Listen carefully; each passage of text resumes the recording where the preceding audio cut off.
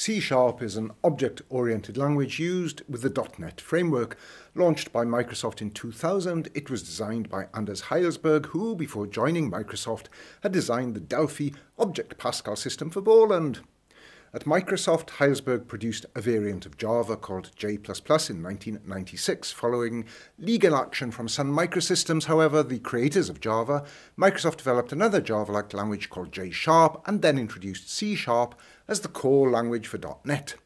The .NET framework is a collection of tools and code initially designed for Windows. It can now also be used for cross-platform development.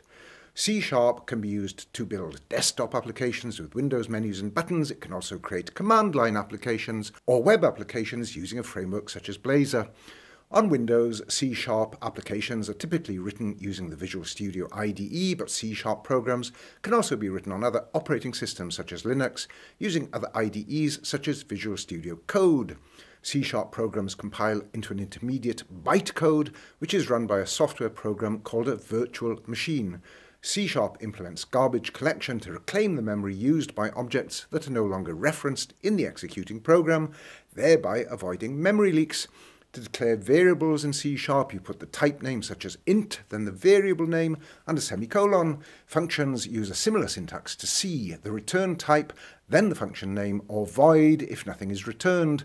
Objects are created from class definitions. A class may contain variables or fields, and functions or methods. Often methods are marked as public and fields as private to ensure that field values can only be changed by calling the methods of an object. If you want to split one class across multiple files, you can de declare it to be a partial class. That's a very quick overview of C Sharp. Go to my channel page for more in-depth lessons.